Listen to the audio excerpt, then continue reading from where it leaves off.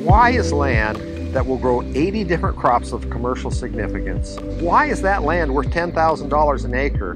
And the same land, if you're going to put a Krispy Kreme or a McDonald's on it, is worth a million dollars an acre. One of the biggest hurdles to anybody who's trying to farm close to cities is just land prices are really high. Being able to sell to cities and urban areas was critical to our success. It's basically where we've sold all of our produce. We were very lucky to get the amount of land we got this close to a, to a city.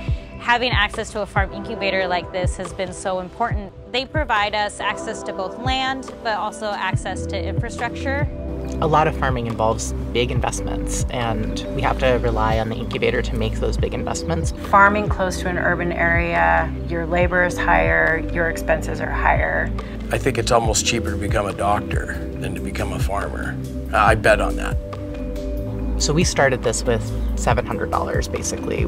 We started um, growing on a half acre um, and we expanded to uh, one acre of production. The constraints of farming on an acre are definitely pretty profound. I think the biggest challenge for farms like mine that have been bigger is just it's intimidating to have to learn something completely different. It's just a paradigm shift. Sometimes, you know, bigger is smaller. There's a lot more opportunities to sell directly to consumers, vegetables, fruit, um, U-pick operations.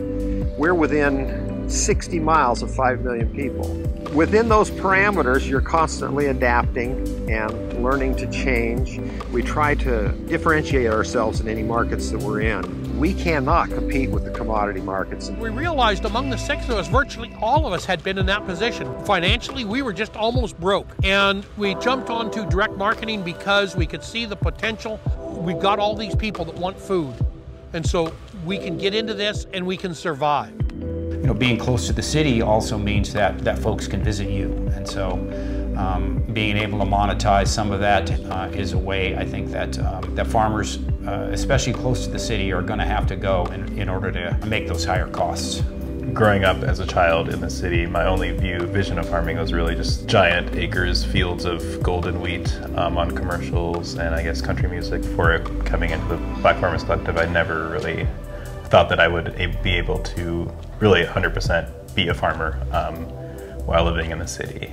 It goes both ways. I think ultimately, you know, it's important to stay close um, and to expose people to what it really is to have a local food system. You know, for years he fought with them over like spraying manure and stuff that they didn't like. And we do so many great things, but there again, we don't talk enough and the people that are coming out with these new regulations don't really do the deep dive and find out okay, so how's this going to affect this person? I think it's very important for uh, community governments to understand the value of this community agriculture and to really push against development pressure.